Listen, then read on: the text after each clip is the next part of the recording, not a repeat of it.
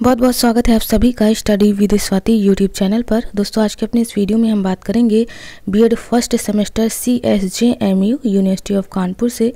तो BEd first semester में एक कंपलसरी पेपर है फिलोसफिकल पर्सपेक्टिव ऑफ़ एजुकेशन तो आप सभी को पता है इसका पेपर आज है। तो यहाँ पर हम ये लास्ट यूनिट जो है इंपॉर्टेंट क्वेश्चन एक नज़र में देख लेंगे। चूँकि हम प्रीवियस वीडियो में यूनिट फ़र्स्ट सेकेंड और थर्ड को लेकर के बात कर चुके थे। इन सभी से जो बहुत इंपॉर्टेंट क्वेश्चन है, लघु और दीर्घ उत्तरीय प्रश्न, उनके आंसर के साथ उनको हम कवर कर चुके थे। और यहाँ पर आज के अपने इस वीडियो में अगर हम बात करें तो यूनिट फोर्थ के जो लास्ट पार्ट के इंपॉर्टेंट क्वेश्चन है, ज़्यादा नहीं क्योंकि टाइम कम बचा है तो थोड़े ही इंपॉर्टेंट क्वेश्चन देख लेते हैं लास्ट यूनिट तो चलिए दोस्तों टाइम वेस्ट ना करते हुए हम यूनिट फोर्थ से भारतीय शैक्षिक विचारक महात्मा गांधी, रविन्द्रनाथ टैगोर किज्जू भाई स्वामी विवेकानंद एवं कृष्णमूर्ति, इनसे संबंधित और पाश्चात्य शैक्षिक विचारक प्लेटो, रूसो, पोलो, फेरो एवं जॉन डीवी से कुछ इंपॉर्टेंट लघु और दीर्घ प्रश्नों को देख लेंगे। तो यहाँ पर प्रीवियस वीडियो में इस प्रीवियस पेपर के बारे में बात की थी कि किस तरह से एमसीक्यू बेस्ड पेपर हुआ था, लेकिन यहाँ पर इस बार आपका सब्जेक्टिव पेपर होगा। तो दोस्तों सब्जेक्टिव पेपर में आपके लघु और दीर्घ प्रश्नों को ही रखा गया है। टोटल पेपर की बात करें तो 75 मार्क्स का पर, आपका पूरा पेपर रहेगा। यूनिट फोर्थ है भार, भारतीय सचिव विचारक महात्मा गांधी रविन्द्रनाथ टैगोर गिजू भाई स्वामी विवेकानंद और जय कृष्ण मूर्ति। तो महात्मा गांधी से संबंधित कौन से इंपॉर्टेंट दीर्घ एवं लघु उत्तरीय प्रश्न बन सकते हैं? तो यहाँ पर आप देख पा रहे हैं 2008 और 2018 इन दोनों में यहाँ से काफ़ी क्वेश्चन बने थे और भी अभी हम देख लेंगे। तो लघु त्रिय प्रश्न ये सारे दिए हुए हैं। चूँकि हमें इम्पोर्टेंट क्वेश्चन रखना है तो महात्मा गांधी के सचिव महात्मा गांधी से संबंधित कोई भी क्वेश्चन आए, ठीक है? उनकी शिक्षा दर्शन आए, उनका जो है पाठ्यक्रम या शिक्षण विधि से संबंधित प्रश्न बने, या गांधी जी के अनुसार शिक्षक का स्थान क्या है, ठीक है? इनसे संबंधित कोई भी प्रश्न बने तो यहाँ पर जो आंसर बताए जा रहे हैं, आप बिल्कुल पढ़ के उनका आंसर दे सकते हैं। चूँकि रटने का कोई मतलब नहीं है कोर्स काफ़ी लंबा है आपका। तो आप जो है इनको पढ़ के ही बता सकते हैं। महात्मा गांधी के बारे में बात करें तो उनका शिक्षा दर्शन दिया है कि महात्मा गांधी न केवल एक राजनीतिक व्यक्ति थे अपितु जीवन और समाज के अनेक क्षेत्रों में उनकी देन अमूल्य है। उन्होंने राजनीतिक क्रांति के साथ साथ सामाजिक क्रांति को भी जन्म दिया और इसमें शिक्षा को प्रमुख स्थान दिया। वे एक श्रेष्ठ विचारक थे। बुनियादी शिक्षा प्रणाली उनके शैक्षिक विचारकों का एक व्यवहारिक रूप है। तो ये है गांधी जी का शिक्षा दर्शन। आगे दिया है शिक्षा दर्शन के आधारभूत सिद्धांत। तो यहाँ पर पहला है संपूर्ण देश में सात से चौदह। जैसे आप सभी को पता है छः से चौदह वर्ष बच्चों को निःशुल्क और अनिवार्य शिक्षा की बात की गई है। लेकिन गांधी जी के बारे में बात करें तो सात से चौदह वर्ष के बालकों को शिक्षा जो है निःशुल्क और अनिवार्य करने की बात कही है। इन्होंने कहा है कि शिक्षा का माध्यम मातृभाषा यानी मदर टंग होना चाहिए। शिक्षा विद्यार्थियों में समस्त मानवीय गुणों का विकास करें। शिक्षा द्वारा बालकों को बेरोजगारी से एक प्रकार की सुरक्षा देनी चाहिए। शिक्षा को आ, शिक्षा को बालक के शरीर हृदय मस्तिष्क और आत्मा का सामंजस्यपूर्ण विकास करना। इसी प्रकार से शिक्षा वास्तविक परिस्थितियों में किया जाना चाहिए। तो देखिए दोस्तों, इतने सारे आधारभूत सिद्धांत हैं इन्हें पढ़ लीजिए। ठीक है, रटने की ज़रूरत नहीं है, पढ़ के अपने हिसाब से आंसर दे सकते हैं। Next question sorry, next point की बात करें तो शिक्षा का अर्थ। शिक्षा का अर्थ मैंने कई बार बताया है। तो यहाँ पर गांधी जी के शब्दों में देख लेते हैं, बालक और मनुष्य के शरीर, मस्तिष्क और आत्मा पाए जाने वाले सत्तम गुणों का चहुर्मुखी विकास, जो है शिक्षा का अर्थ। प्रकट करता है गांधी जी के अनुसार। शिक्षा के उद्देश्य क्या है? तो यहाँ पर गांधी जी ने बताया है कि दो भागों में इसको बांट दिया है, तत्कालिक उद्देश्य और अंतिम उद्देश्य। तत्कालिक में कई सारे पॉइंट है। बालक का चारित्रिक निर्माण, सांस्कृतिक व्यक्तित्व, उच्च जीवन और जीविकोपार्जन। इनसे संबंधित जो है, तत्कालिक उद्देश्य बता दिए हैं। वहीं अगर अंतिम उद्देश्य बताएँ तो शिक्षा का अंतिम उद्देश्य जो है, वास्तविकता का अनुभव, ईश्वर और आत्मानुभूति का ज्ञान। तो यह शिक्षा के उद्देश्य गांधी जी के अनुसार। पाठ्यक्रम की बात करें तो इन्होंने बुनियादी शिक्षा जैसा कि बुनियादी तालीम के अंतर्गत आधार भूत शिल्प जैसे कताई बुनाई, कृषि, काष्ठ कला, ठीक है? चर्मकार मिट्टी का काम, ये मातृभाषा गणित मातृभाषा को इन्होंने प्रमुखता दी अपने पाठ्यक्रम में। गणित को महत्ता दी है सामान्य विज्ञान में, जीव विज्ञान, वनस्पति, शारीरिक विज्ञान, रसायन, प्रकृति, नक्षत्र विज्ञान, ग्रह, ये सभी को। कला में ड्राइंग एवं संगीत को पाठ्यक्रम में शामिल किया है। तो ध्यान रखिएगा, पाठ्यक्रम पूछ सकता है आपसे लघु प्रश्न के अंतर्गत। आगे हिंदी दिया है, जहाँ मातृभाषा ना हो। ठीक है, यहाँ पर मदर टंग को इन्होंने बताया है। सामाजिक अध्ययन में इतिहास, भूगोल, नागरिक शास्त्र, शारीरिक शिक्षा, खेलकूद एवं व्यायाम। ये पाठ्यक्रम हो गया। शिक्षण विधियाँ कौन कौन सी गांधी जी ने बताई है? तो करके सीखना। ठीक है, अनुभव द्वारा सीखना सीखने की प्रक्रिया में समन्वय। तो ये हो गई शिक्षण विधियाँ। आगे बढ़ते हैं शिक्षक का स्थान क्या होना चाहिए? तो शिक्षक का स्थान गांधी जी के अनुसार एक शिक्षक, आदर्श शिक्षक तभी बन सकता है जब वह शिक्षण कार्य को व्यावसायिक रूप में नहीं, वरन सेवा कार्य के रूप में स्वीकार करे। उसे सत्य आचरण करने वाला सहिष्णु ज्ञान का भंडार एवं धैर्यवान होना चाहिए। ठीक है, ये शिक्षक का स्थान है। शिक्षक दर्शन का मूल्यांकन। ये इतना इंपॉर्टेंट नहीं, फिर भी आप इस पर एक नज़र डाल सकते हैं कि गांधी जी के दर्शन शिक्षा दर्शन का आधार आदर्शवाद है तथा प्रकृतिवाद एवं प्रयोजनवाद मात्र उसके सहायक के रूप में है। गांधी जी का शिक्षा दर्शन बालक की प्रकृति को विशेष महत्व देता है, इसलिए वह प्रकृतिवादी है और क्योंकि यह दर्शन बालक को उसकी रुचि के अनुसार सामाजिक परिस्थितियों को ध्यान में रखकर क्रिया करके सीखने पर बल देता है तब इस अर्थ में प्रयोजनवादी, ठीक है? तो ध्यान दीजिएगा, ये प्रयोजनवादी की बात कर रहा है, यानी प्रयोगों द्वारा जो सिद्ध किया जा सके, उन चीज़ों को महत्व देता है शिक्षा दर्शन मूल्यांकन के अंतर्गत। तो ये बस इतना काफ़ी है अब इससे ज़्यादा कुछ इसमें खास नहीं दिया है। ठीक है, फिर भी आप चाहें तो एक नज़र इस पर डाल सकते हैं। चलिए बढ़ते हैं अगले इंपॉर्टेंट क्वेश्चन की तरफ़, जो कि है, गांधी जी के शिक्षा दर्शन तथा शिक्षा की अवधारणा के विचारकों को स्पष्ट कीजिए। अनेक शैक्षिक सिद्धांत वर्तमान भारत की प्रमुख समस्याओं का समाधान कहाँ तक कर सकते हैं? तो इस क्वेश्चन का आंसर भी देख लेते हैं। चूँकि इंपॉर्टेंट क्वेश्चन है आपका 2012 Kanpur university B first semester में पूछा गया था। तो क्वेश्चन कुछ इस प्रकार से है, गांधी जी के शिक्षा दर्शन से आप क्या समझते हैं? देखिए, अथवा लगा है तो क्वेश्चन किसी भी प्रकार से पूछे आप उसका आंसर बिल्कुल ऐसे ही देंगे। उनके शैक्षिक सिद्धांत, वर्तमान भारत की प्रमुख समस्याओं का समाधान कहाँ तक कर सकते हैं? तो गांधी जी के कॉन्सेप्ट यानी संप्रत्यय की अगर हम बात करें तो दिया है गांधी जी ने केवल साक्षरता को शिक्षा नहीं माना। इनके अनुसार, इनके शब्दों में साक्षरता ना तो शिक्षा का अंत है और ना प्रारंभ, यह केवल एक साधन है जिसके द्वारा पुरुष और स्त्रियों को शिक्षित किया जा सकता है, ठीक है? यही सारी बातें इन्होंने अपनी परिभाषा में व्यक्त की है कि मनुष्य को शरीर, मन, हृदय और आत्मा का योग मानते हैं। शिक्षा को, इनका स्पष्ट मत था कि शिक्षा को मनुष्य के शरीर, मन, हृदय और आत्मा का विकास करना चाहिए। काफ़ी सारी जो है, इन्होंने अपनी परिभाषाओं के माध्यम से जो है, अपने कॉन्सेप्ट को बताया हुआ है। तो यहाँ पर परिभाषाएँ आप डाल दीजिएगा अगर कॉन्सेप्ट पूछे तो। महात्मा जी, गांधी जी का शिक्षा दर्शन अगर हम कहें तो तो इन्होंने शिक्षा दर्शन, वही सारी चीज़ें आ जाएँगी जो अभी अभी हमने आगे पढ़ी थी। ठीक है तो शिक्षा दर्शन आप एक नज़र यहाँ पर देख लीजिएगा। गांधी जी के शैक्षिक सिद्धांतों की वर्तमान भारत में उपयोगिता तो भारतीय परिस्थिति के लिए उपयोगी है, बालकों का सर्वांगीण विकास करने के लिए उपयोगी है, अच्छी नागरिकता का विकास करने के लिए उपयोगी है, सर्वोदय की भावना का विकास, नैतिक, चारित्रिक एवं सांस्कृतिक मूल्यों का विकास, ये सभी इंपॉर्टेंट पॉइंट हो जाते हैं इनके विकास सिद्धांत के अंतर्गत। आर्थिक निर्भरता, ठीक है तो पॉइंट मैटर करता है, अंतर्गत आप अपने हिसाब से लिख सकते हैं।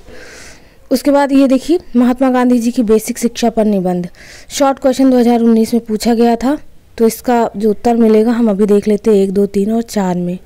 तो पहला है, आपसे प्रश्न कुछ इस तरह से पूछेगा, बुनियादी शिक्षा क्या है? या बुनियादी शिक्षा किसके द्वारा दी गई? या नई तालीम किसके द्वारा लागू की गई? या फिर बेसिक शिक्षा के जनक कौन माने जाते हैं? तो यहाँ पर अगर हम बात करें, भारत में 1935 का अधिनियम पारित हुआ, जिसमें भारत सरकार अधिनियम 1935 के नाम से हम जानते हैं। इसके परिणाम स्वरूप सन उन्नीस ध्यान रखिएगा 1937 में भारत में द्वैध शासन प्रणाली की समाप्ति की गई। ठीक है, और यहीं से जो है गांधी जी ने शिक्षा नीति को भी स्थान दिया है। इसके साथ ही निःशुल्क और अनिवार्य शिक्षा की व्यवस्था करनी थी, जिसके लिए उन्होंने धन की व्यवस्था भी की। तो ये जो उनकी बुनियादी शिक्षा आई, वो उन्नीस सौ सैंतीस में आई थी। ठीक है, बुनियादी शिक्षा के उद्देश्य क्या थे? तो पहला था बालकों को जो है नागरिकों के रूप में विकसित करना ठीक है। बालकों में देश की संस्कृति के प्रति दृष्टिकोण रखना, शिक्षा प्रदान करना, जिससे बालक आत्मनिर्भर बन सके और श्रेष्ठ व्यक्तित्व का निर्माण करना, यही सारे पॉइंट आएँगे, अगर बुनियादी शिक्षा के उद्देश्यों की बात करें। और इसमें छः से चौदह वर्ष आयु वर्ग के बच्चों को निःशुल्क शिक्षा दी जाएगी। ऐसा माना गया, लेकिन बेसिक शिक्षा का कालखंड सात वर्षों का होगा, ठीक है? यानी सात से चौदह वर्ष। शिक्षा हिंदी माध्यम से प्रदान की जाएगी। बालकों को जो है शिल्पकार बनाने का प्रशिक्षण दिया जाएगा। यानी हाथ से चीज़ें जो बनाई जाती हैं, उन पर ज़ोर दिया जाएगा। शिल्प जरूरतों के अनुसार होंगे। शिल्पकार शिक्षा देते समय यह ध्यान में रखा जाएगा कि विद्यार्थी शिल्प के वैज्ञानिक तथा सामाजिक दृष्टिकोण को ज्ञान, जान जाए। ठीक है, ये हो गया इम्पोर्टेंट फिर है, बुनियादी शिक्षा का वर्तमान शिक्षा के संदर्भ में महत्व बताइए। तो इसके काफ़ी सारे पॉइंट हैं। इन पॉइंटों को हम जल्दी से देख लेंगे। तो अगर हम बुनियादी शिक्षा महत्व की बात करें तो पहला है सामाजिक महत्व। सामाजिक गुणों का विकास करेगा, ठीक है? आर्थिक दृष्टिकोण से बुनियादी शिक्षा ग्रहण करने वाले बालक जो है, बेकार नहीं रहता, वह कुछ ना कुछ रोज़गार ज़रूर ही आर्थिक दृष्टि से कर लेंगे। क्योंकि उन्हें शिल्प कला हस्तकला ये सब दी जाएगी। मनोवैज्ञानिकता इसमें कहा गया है कि रचनात्मक प्रवृत्ति और जनजात प्रवृत्ति इनको संतुष्ट करेगा। कार्य का महत्व, जिससे अमीर गरीब का भेदभाव दूर हो जाएगा, ठीक है पॉइंट के अंतर्गत है। तो ये हो गए चार पॉइंट महत्व के अंतर्गत। अपने हिसाब से भी बना के लिख सकते हैं। फिर अगला है थ्री नंबर का क्वेश्चन कि बुनियादी शिक्षा महात्मा गांधी की महानतम देन है समीक्षा कीजिए। ये 2011 में पूछा गया। बेसिक शिक्षा के गुणों को बताइए। ये 2014 और 15 में पूछा गया था। तो गुण और महत्व, ये सब देख लेते हैं एक साथ। तो यहाँ पर अगर कर्म प्रधान प्रधान शिक्षा की बात करें तो ये प्रमुख गुण है कि बने, बुनियादी शिक्षा में कर्म को सर्वोच्च प्राथमिकता दी गई है। इसको तो आप अपने हिसाब से बना के लिख सकते हैं। बालक प्रधान शिक्षा, यानी बालक को मुख्य स्थान दिया, क्योंकि यह नई तालीम की बात की गई है, हल शिल्प कला की बात की, हस्तकला की बात की गई है। फिर आर्थिक आधार आर्थिक आधार पर व्यवसाय को प्रारंभ किया गया है, चूँकि मैंने बताया कि शिल्प कला और हस्तकला को महत्ता दी गई है। घर तथा विद्यालय में सामंजस्य ठीक है? और सामाजिकता, इन सभी पॉइंटों को इंक्लूड किया जा सकता है अगर हम बेसिक शिक्षा के गुणों की बात करें, ठीक है? और आवश्यकता की भी बात करें, आगे कई सारे पॉइंट हैं शारीरिक श्रम के प्रति सकारात्मक दृष्टिकोण, ज्ञान की अखंडता, स्वतंत्र वातावरण, इस सारे पॉइंट आ जाते हैं बेसिक शिक्षा के गुणों के अंतर्गत। फिर अगला पॉइंट है कि गांधी जी की शिक्षा की परिभाषा दीजिए तो दो तीन परिभाषाएँ आप पढ़ लीजिएगा जो शुरुआत से अभी हम देखते आए हैं इसमें कोई खास क्वेश्चन नहीं पूछा है ठीक है? आ, मैंने शुरुआत में ही बताया कि आप गांधी जी की दो तीन परिभाषाएँ जो बहुत कभी कभी यूपी टेट में पूछ लेता तो वही आप याद कर लीजिए उनको ध्यान में रखिए और उसी को आप लिखिएगा। यहाँ पर शिक्षा प्रदान किए जाने के संबंध में गांधी जी का विचार था हैंड हार्ट हेड ठीक अर्थात शिक्षा के द्वारा बालक का शारीरिक, व्यवसायिक और आध्यात्मिक और मानसिक विकास किया जाना। उसके बाद चलिए हम आते हैं रविन्द्रनाथ टैगोर से संबंधित प्रश्नों पर, दीर्घ लघु जो भी पूछे इसमें से। उनको देखते हैं कि टैगोर के शिक्षा दर्शन का मूल्यांकन कीजिए तथा शिक्षा के उद्देश्य, शिक्षण पद्धति, पाठ्यक्रम में शिक्षा के स्थान के संबंध के विचार को स्पष्ट कीजिए। ठीक है, पहला क्वेश्चन हो गया। आगे ठीक है रविन्द्रनाथ टैगोर का क्वेश्चन था। इससे संबंधित ज़्यादा प्रश्न नहीं पूछा क्योंकि मैंने इसको लिख दिया है, ये आप स्किप कर सकते हैं। इससे संबंधित मैंने देखा है कि ज़्यादा क्वेश्चन पूछे नहीं गए हैं। तो स्किप करिए, हम बढ़ते हैं स्वामी विवेकानंद। बहुत इंपॉर्टेंट पॉइंट आते हैं महात्मा गांधी के बाद स्वामी विवेकानंद पर। स्वामी विवेकानंद के शिक्षा के अर्थ, उद्देश्य, पाठ्यक्रम, विधि और शिक्षा दर्शन, इनकी व्याख्या हमें करनी है। इनसे संबंधित प्रश्न 2016 पाँच और अदर में भी पूछा गया है यानी अट्ठारह और सोलह में। तो हम चलिए देखिए इंपॉर्टेंट क्वेश्चन देखते हैं। स्वामी विवेकानंद, आप सभी जानते हैं इनको। स्वामी विवेकानंद भारतवर्ष के अमत सपूतों में से एक हैं। उनकी आध्यात्मिकता की गहराई तथा संपूर्ण मानव मात्र के प्रति उनके प्रेम हमारे देश की धरोहर है। स्वामी विवेकानंद भारतीय दर्शन के पंडित और अद्वैत वेदांत के पोषक थे। ये वेदांत को व्यवहारिक रूप देने के लिए प्रसिद्ध हैं। इनके दर्शन विचार सैद्धांतिक रूप में इनके विचारित पुस्तकों में पढ़े जा सकते हैं। तो अगर हम बात करें स्वामी विवेकानंद की। तो इनके शिक्षा दर्शन में इन्होंने रामकृष्ण मिशन के जन कल्याण कार्यों के रूप में अपनी चीज़ें रखी। स्वामी जी ने अपने देशवासियों की अज्ञानता, निधनता, इन दोनों या इन दो से बहुत चिंतित थे। इन्हें दूर करने के लिए उन्होंने शिक्षा की आवश्यकता पर बल दिया। ठीक है, जीवन दर्शन में देख लेते हैं। जीवन दर्शन में इन्होंने बताया, काफ़ी सारे पॉइंट हैं कि स्वामी विवेकानंद सृष्टि के कर्ता ब्रह्मा को मानते हैं, किंतु वे माया और जगत को भी सत्य मानते थे। ठीक है, उसके बाद अगला पॉइंट है कि इनके अनुसार ज्ञान के दो रूप हैं, वस्तु जगत का ज्ञान और आत्मा तत्व ज्ञान। स्वामी जी जो है मानव मात्र की सेवा को बड़ा धर्म मानते थे। उनके अनुसार मनुष्य जीवन का अंतिम उद्देश्य आत्म, अनुभूति, ईश्वर की प्राप्ति और मोक्ष की प्राप्ति है। इसी तरह से अन्य पॉइंट भी हैं, इन पर आप बल दीजिएगा, इन्हें आप पढ़ लीजिएगा। चलिए बढ़ते हैं कुछ और चीज़ों पर। ठीक है, ये सारे पॉइंट हैं। इनके शिक्षा दर्शन को भी एक नज़र में देख लेंगे। अगर हम शिक्षा दर्शन की बात करें तो स्वामी विवेकानंद जी मैकाले द्वारा प्रचलित तत्कालीन अंग्रेज़ी शिक्षा पद्धति को सही नहीं मानते थे, क्योंकि इस शिक्षा का उद्देश्य मात्र बाबुओं की संख्या बढ़ाना। है ठीक है, स्वामी जी कहते हैं कि हमें उस शिक्षा की आवश्यकता है जिसके द्वारा चैत्य का निर्माण होता है, मस्तिष्क की शक्ति बढ़ती है बुद्धि का विकास और मनुष्य अपने पैरों पर खड़ा होता है। आगे कहते हैं कि तुमको कार्य के सब क्षेत्रों में व्यवहारिक बनना पड़ेगा। सिद्धांतों के ढेरों में संपूर्ण देशों का विनाश कर दिया है। ये है शिक्षा दर्शन स्वामी विवेकानंद का। उसके शिक्षा दर्शन के आधारभूत कुछ सिद्धांत भी रहे हैं, जिन्होंने पॉइंटों के माध्यम से बताया कि शिक्षा एक ऐसी ऐसी हो जिससे व्यक्ति का शारीरिक, मानसिक और आत्मिक विकास हो सके। चरित्र का गठन, मन का बल बढ़े, बुद्धि का विकास और व्यक्तित्व आत्मनिर्भर बने। यानी जो व्यक्ति का व्यक्तित्व है, वो आत्मनिर्भर बने। बालकों के समान ही बालिकाओं को शिक्षा दी जाए, धार्मिक शिक्षा पुस्तकों से नहीं, वरन व्यवहार, आचरण, संस्कारों के माध्यम से दी जाए, पाठ्यक्रम में सांसारिक एवं आध्यात्मिक दोनों प्रकार के विषय रखे जाए, ठीक है? शिक्षा गुरु ग्रह में ही प्राप्त की जाए, ये सारे पॉइंट आ जाते हैं अगर हम शिक्षा दर्शन के आधारभूत सिद्धांतों की बात करें। चलिए आगे बढ़ते हैं, इनके अनुसार शिक्षा का अर्थ एक नज़र में देख लेते हैं। तो स्वामी विवेकानंद की अगर हम बात करें, उन्होंने बताया कि यदि शिक्षा का अर्थ सूचनाओं से होता है तो पुस्तकालय संसार के सर्वश्रेष्ठ संत होते तथा विश्वकोश ऋषि बन जाते। इनके अनुसार शिक्षा उस सन्निहित पूर्णता पर प्रकाश है, जो मनुष्य में पहले से ही विद्यमान है। ठीक है? तो इनके भी काफ़ी सारी परिभाषाएँ हैं, अगर हम इनके शिक्षा की, अर्थ की बात करें। विवेकानंद के शिक्षा के उद्देश्य भी हैं, ठीक है? तो उद्देश्य में पॉइंट वाइज हम चीज़ों को देखेंगे। पहला है शारीरिक विकास, ठीक है? दूसरा है मानसिक एवं बौद्धिक विकास। ये सारी, इनके अनुसार की शिक्षा के द्वारा ही मनुष्य का शारीरिक विकास। शारीरिक विकास में सभी आ जाएँगे। चारित्रिक, मानसिक सॉरी मानसिक नहीं, चारित्रिक, व्यवहारिक ये सारे शारीरिक विकास के अंतर्गत आ जाएँगे। उसके बाद मानसिक एवं बौद्धिक के अंतर्गत सामाजिक सेवा की भावना का विकास, ये सब जो है शिक्षा के द्वारा ही संभव है नैतिक एवं चरित्र चारित्रिक विकास नैतिक और चारित्रिक विकास भी इसके अंतर्गत संबंध सम्मिलित है, व्यावसायिक विकास भी सम्मिलित है। आगे बढ़ते हैं और राष्ट्रीय एकता एवं विश्वंदित का विकास, ये सारे पॉइंट हैं, देखिए। तो इन पॉइंटों के अंतर्गत आप लिख सकते हैं, आपको पॉइंट थोड़े पता होने चाहिए। नेक्स्ट इंपॉर्टेंट क्वेश्चन देख लेते हैं। स्त्री शिक्षा के संबंध में विवेकानंद के योगदान की बात कही गई है। तो दोस्तों, अगर हम स्त्री शिक्षा की बात करें तो स्वामी जी ने इन्होंने जो है स्त्री शिक्षा को महत्व दिया है। इनके अनुसार कि स्त्रियों की जो स्थिति है, वह पिछले समय में दयनीय थी।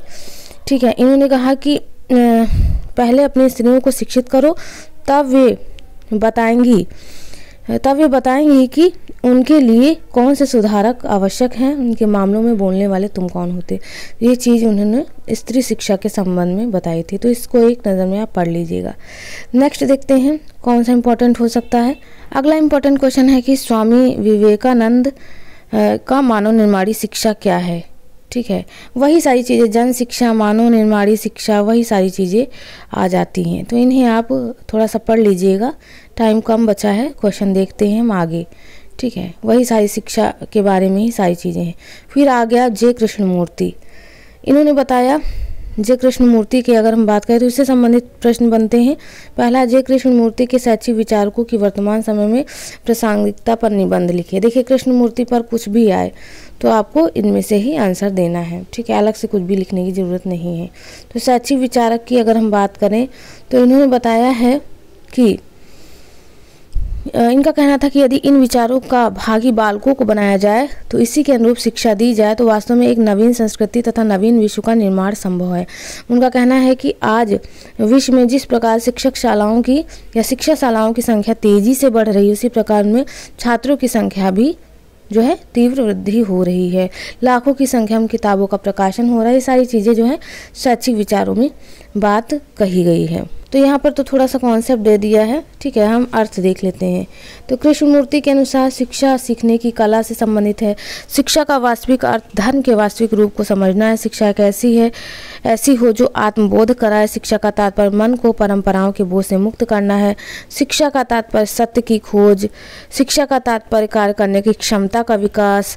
कार्य कर कार्य को मन लगाकर करना ये सब हो गया कृष्ण मूर्ति के शिक्षिक, शिक्षा के अर्थ। ठीक है तो ये आप पढ़ लीजिएगा, इसको भी लिख सकते हैं। शिक्षा के उद्देश्य की बात करें तो इन्होंने उद्देश्य जो है, यही सारे उद्देश्य भी बताएँ। ठीक है उद्देश्य भी कुछ ऐसे ही हैं तो अलग से लिखने की ज़रूरत नहीं है। चलिए आगे देख लेते हैं प्लेटो। प्लेटो से संबंधित प्रश्न पूछता है कि प्लेटो के शैक्षिक विचारों की विस्तृत व्याख्या कीजिए। प्लेटो के शिक्षा दर्शन, ठीक है, सिद्धांत, शिक्षा के कार्य, यही सब बनते हैं प्रश्न, अगर हम प्लेटो की बात करें। तो यहाँ पर 2018, 17, 19 इनको पढ़ लीजिएगा। प्लेटो के अनुसार शिक्षा के स्तर क्या हैं ये पूछ लिया है। तो देख लेते हैं प्लेटो का शिक्षा सिद्धांत। तो यहाँ पर हम आएँगे ठीक है प्लेटो का शिक्षा सिद्धांत में पॉइंट वाइज चीज़ें पढ़ेंगे। इनके अनुसार यूनानी विचारकों की समस्याओं को स्पष्ट करने के लिए मनोवैज्ञानिक सिद्धांत अपनाए जाए। उसका शिक्षा संबंधी दर्शन सभी कालों तथा देशों में प्रेरणादायी हो। उसने अपने आ, समय की यूनानी सभ्यता की आलोचना की और उसने मतलब प्लेटो की बात की जा रही है कि और उसे सुधार में शिक्षा का महत्व दिया। उसके उसके शिक्षा संबंधी विचार में ऐतिहासिक महत्व को जो है महत्वपूर्ण माना गया। उसके पता चलता है कि सभी कालों में जो है मानव विकास का क्रम सूत्र में पर, पिरोया जा सकता है। प्लेटो की पुस्तक रिपब्लिक और लॉज में जो संवाद दिए गए उसके शिक्षा सिद्धांतों से अभिव्यक्त करते हुए वह अपने रिपब्लिक में आदर्श राज्य की कल्पना करता है। प्लेटो की बात करें तो ये आदर्शवादी थे, ठीक है। प्लेटो समाज और व्यक्ति दोनों को महत्व देते थे। यही सारी चीज़ें बताई गई हैं। आगे देखते हैं। प्लेटो की शिक्षा को नैतिक आधार, चार भागों में मिलता है। योग्यता, ज्ञान, राजनीतिज्ञ, सेवा। ठीक है, ये पॉइंट है।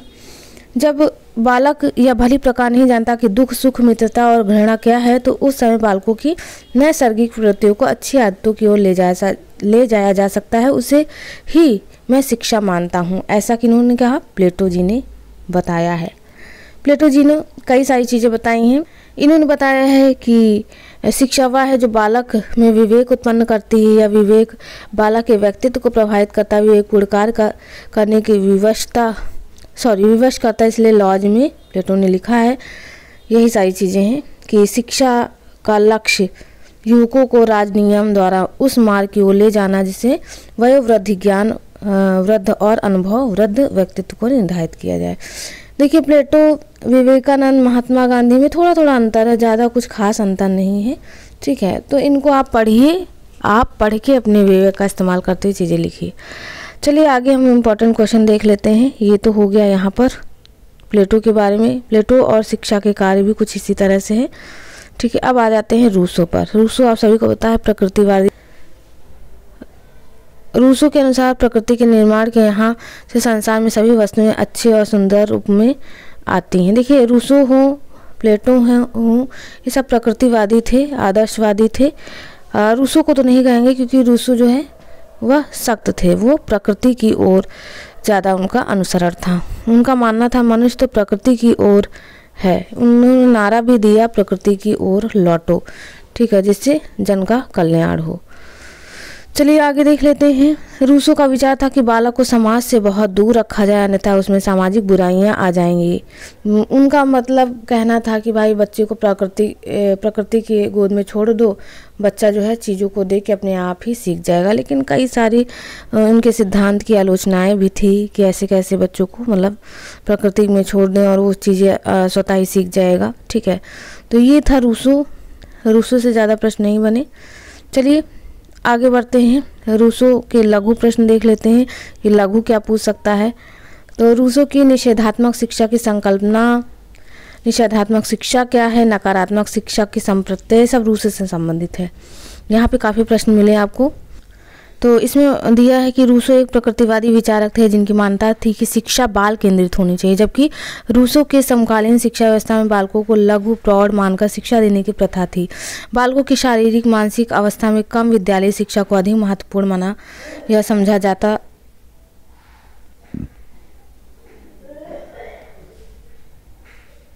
माना जाता था। ठीक है, रूसो ने उक्त शिक्षा को निश्चात शिक्षा कहा, निश्चात शिक्षा के समय रूसो को कहना है कि मैं निश्चयात्मक शिक्षा, उस शिक्षा को कहता हूँ जो कि समय के पहले मस्तिष्क को विकसित करना चाहती है और बालकों को प्रौढ़ के कर्तव्य से संबंधित शिक्षा देती है। ये सब रूसो की नकारात्मक शिक्षा टिप्पणी वगैरह थी। इसको आप पढ़िएगा। रूसो के प्रमुख शैक्षिक विचार क्या थे? कई सारे विचार थे। पहला था वास्तविक ज्ञान की प्राप्ति हमें प्रकृति से होती है, समाज से नहीं। प्रकृति शुद्ध, सरल तथा सुखदायक है। समाज अनेक दोषों से युक्त है, प्रकृति पूर्ण रूप से शुद्ध है। वास्तविक ज्ञान हमें प्रकृति से मिलता है। चूँकि रूसो प्रकृतिवादी थे तो उन्होंने सब कुछ प्रकृति से संबंधित जो है, इसमें लिख दिया है। अगला आ गया जॉन डी यूवी से संबंधित प्रश्न। जॉन डी डीवी से ज़्यादा प्रश्न नहीं बना है, एक ही है, देख लेते हैं, लास्ट है ये। डीवी ने अपने शिक्षा सिद्धांतों को अधिक व्यवहारिकता प्रदान की, जबकि अन्य शिक्षा शास्त्री इतना नहीं कर पाए डीवी का शिक्षा सिद्धांत सामाजिक और मनोवैज्ञानिक है। वह शिक्षा की व्यवहारिक तथा सालौकिक सिद्धांत देना चाहते हैं। उनके अनुसार प्रत्येक व्यक्ति को उसी, उसकी रुचि, स्वभाव और योग्यता के अनुसार विकसित होने का अवसर मिलना चाहिए। वह वर्ग भेद मिटाकर शिक्षा व्यवस्था को जनतंत्रात्मक बनाना चाहते थे तो इनके अनुसार सभी को शिक्षा पाने का समान अवसर मिलना चाहिए। तो यही सारी बातें जॉन डी के बारे में है। जैसा कि आप सभी को पता है कि जॉन डीवी ने अपनी शिक्षा त्रिमुखी बताई है, ठीक है? टीचर, स्टूडेंट और करिकुलम, इसी के आधार पर इन्होंने पूरी शिक्षा को स्पष्ट किया है। तो इनकी त्रिमुखी प्रक्रिया को आप एक्सप्लेन कर सकते हैं इसके अंतर्गत। तो दोस्तों, यहाँ पर आज के अपने इस वीडियो में हमने यूनिट फोर्थ के जो भी इम्पोर्टेंट क्वेश्चन थे, जो पूछे जा सकते हैं आपके एग्ज़ाम में, उनको रख दिया है। बिल्कुल, आप को लास्ट टाइम क्या है कि यही क्वेश्चन देख लीजिएगा, काफ़ी है, इससे अलग कुछ भी हटके नहीं आने वाला। तो दोस्तों, आज के अपने इस वीडियो में बस इतना ही, मिलते हैं अपने एक नेक्स्ट वीडियो में, एक नए टॉपिक के साथ। तब तक के लिए आप सभी का बहुत बहुत धन्यवाद। Thank you friends keep watching and share to others